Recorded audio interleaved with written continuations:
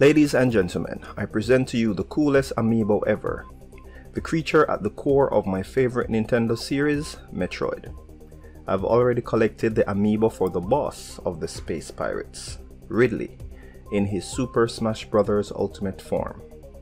I've also collected the special edition Metroid version of the Nintendo 3DS.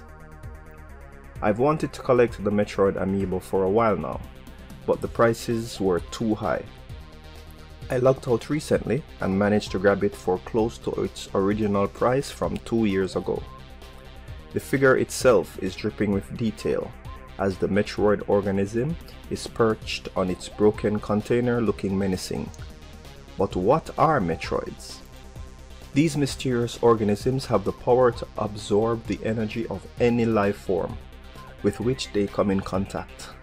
And this ability has put them at the center of many a galactic conflict. Nefarious space pirates want to use them as a weapon, one powerful enough to conquer the entire galaxy. To combat this threat, the Galactic Federation dispatched a lone bounty hunter, Samus Aran, to eliminate the Metroid menace once and for all. The figure is squishy to the touch and it is of amazing quality. With Metroid Prime 4 enduring development delays, I'm happy to add this figure to my collection as I wait for the next game to be released. Fan of Metroid? Have you collected this or any other amiibos?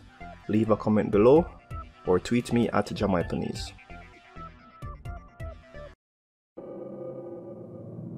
The last Metroid is in captivity. The galaxy is at peace.